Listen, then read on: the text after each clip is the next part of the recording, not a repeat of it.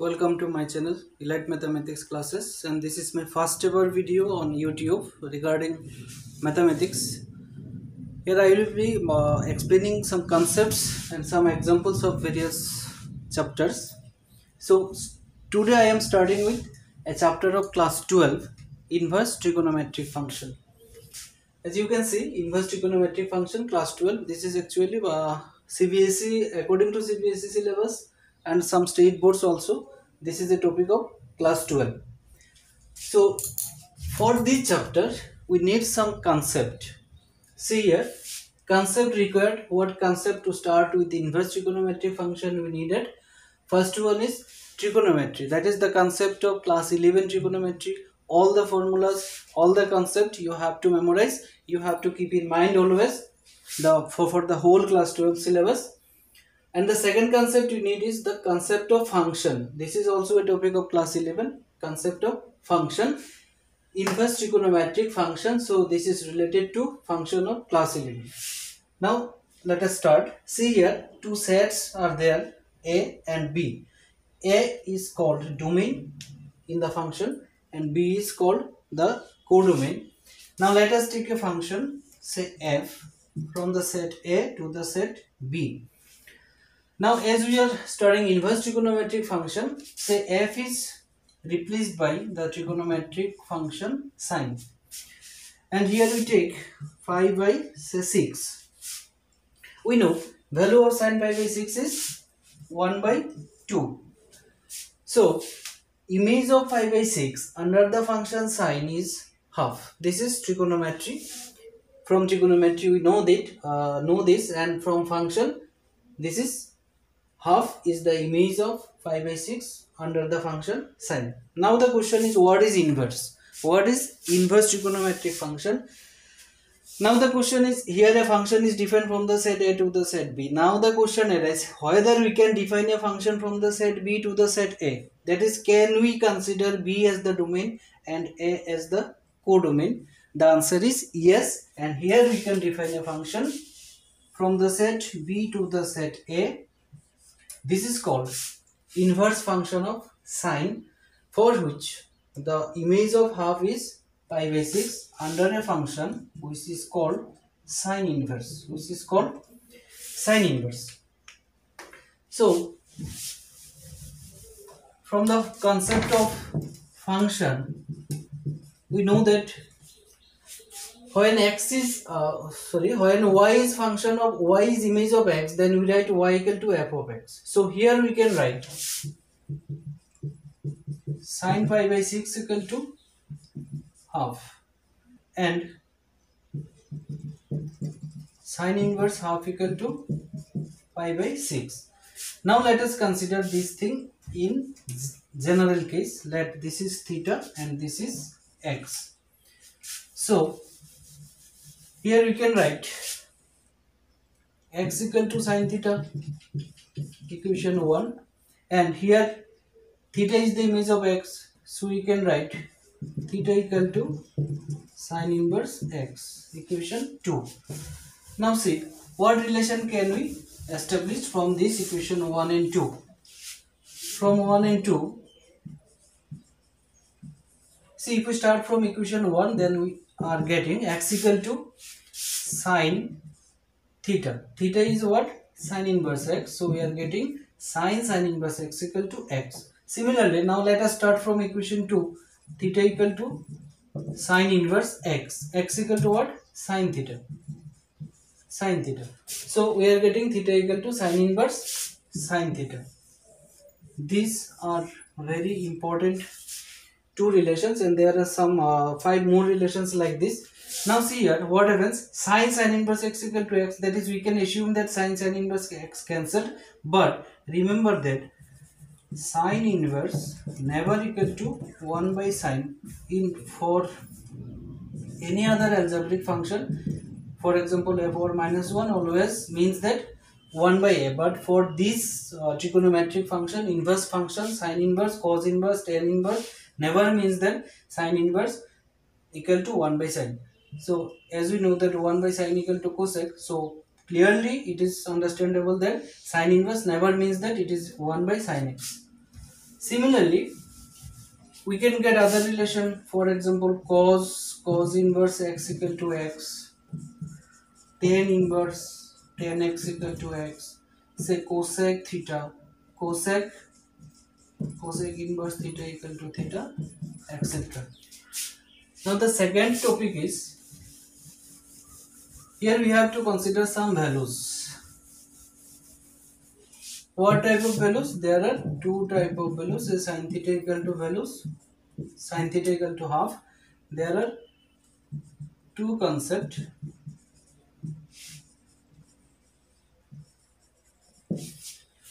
For sin theta equal to half, as we know, uh, all the trigonometric functions are multiple valued function. So for sin theta equal to half, we are getting two values. One is general value for theta, one is principal value of theta.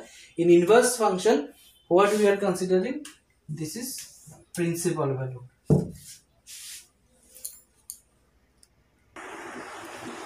For principal value, what we actually consider is that, for example, sin theta equal to half. It is positive. Now we know that sin theta is positive in the first quadrant as well as in the second quadrant. So for sin theta equal to half we can get two values. First one in the first quadrant and second one in the second quadrant. So what principal value means that for taking the for finding the principal value we need to find the smallest one smallest value of theta for which sin theta equal to half. So for sin inverse x the range of principal value is minus pi by 2 to pi by 2 that is first and fourth quadrant. First and fourth quadrant for the positive values we have to take the value of theta in the first quadrant. And for the negative values we have to value we have to take the value in the fourth quadrant. Similarly other range are given. You have to memorize that for example cos inverse x. Principal value of cos inverse x lies in first and second quadrant. As we know in the first quadrant all are positive so cos is positive and in the second quadrant cos is negative. So the smallest value of theta for which cos theta will be negative lies in second quadrant. Similarly others. This is the concept of principal value. That is the concept of principal value is the least value of theta minimum value of theta for which the equation is satisfied. Next there are several formulas of inverse trigonometric function but the easier to memorize all the formulas that all are related to the trigonometric formulas of class 11 here i am uh, i am giving to uh, with the proof one or two examples.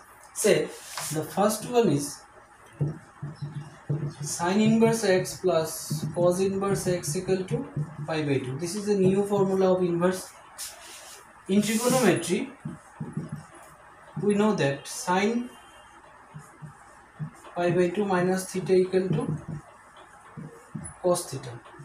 Now say how this formula proof of this sine inverse x plus cos inverse x equal to pi by 2 let sin inverse x equal to theta implies x equal to what? If sin inverse x equal to theta then x equal to sin theta. So this is equal to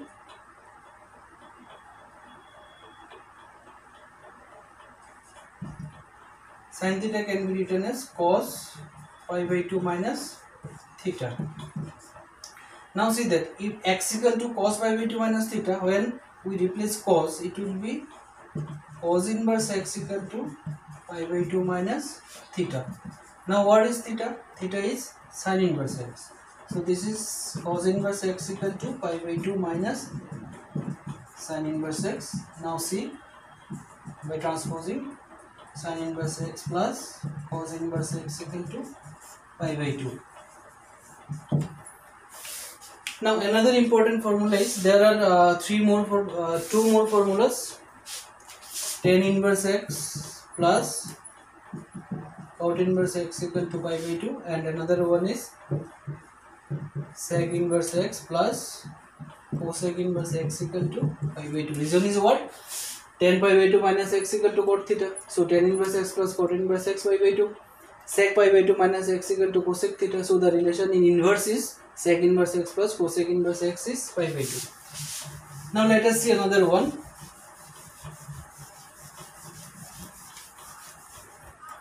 in trigonometry we know that tan a plus b equal to tan a plus tan b by 1 minus tan a tan b now see the formula in the inverse. It is tan inverse x plus tan inverse y equal to tan inverse x plus y by 1 minus xy. Now see the similarity. Here it is a plus b. Here in the inverse it is tan inverse x plus tan inverse y. That is a is replaced by tan inverse x b is replaced by tan inverse y. Now see this format. Tan a plus tan b by 1 minus tan a tan b in the inverse it is x plus y by 1 minus xy x plus y by 1 minus xy 1 minus tan a tan b. So if you know all the formulas of trigonometric function then the inverse formulas are very easy to memorize. Now see the proof of this one. Let a equal to tan inverse x b equal to tan inverse y. In place so if a equal to tan inverse x then x equal to tan a y equal to tan b now we know this. Now we know this formula. tan we know. tan a plus b equal to tan a plus tan b by 1 minus tan a tan now tan of a plus b equal to 10 equal to what x plus tan b equal to y 1 minus xy so in the next step what will be a plus b a plus b equal to if we replace tan to that side it will be tan inverse x plus y by 1 minus xy. Now put a, a equal to what? tan inverse x. tan inverse x plus b equal to what? 10 inverse y equal to tan inverse x plus y by 1 minus xy. So this is the proof of this formula tan inverse x plus tan inverse y equal to tan inverse x plus y by tan inverse x plus y by 1 minus xy so here you will see if you go through the uh, all the formulas of inverse function in your book you will see all the inverse formulas are related to or similar to the trigonometric function of class 11 so your first thing is you first memorize all the formulas of class 11 trigonometry then all the formulas of inverse will be very easier to memorize. Now you go through your chapters and for any difficulties or clarity you comment. Thank you